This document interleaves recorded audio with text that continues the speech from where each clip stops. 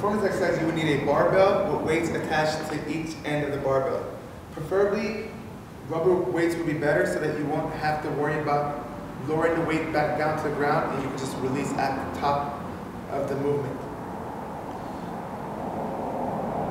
To perform this exercise, you would position your hands slightly outside of your hips and then you will hinge at the hips and bend at the knees while maintaining a nice flat back and a broad chest. And then you will grab the barbell outside of your knees, making sure to push your knees out towards your elbows. And then you're gonna push the ground away from you as you stand in an erect position, explosively.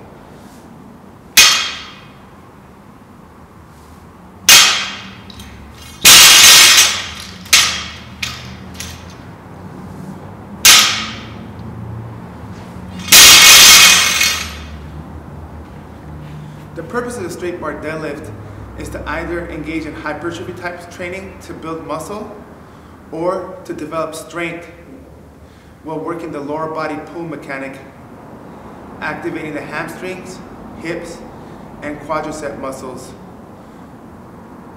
while pushing the ground away from you.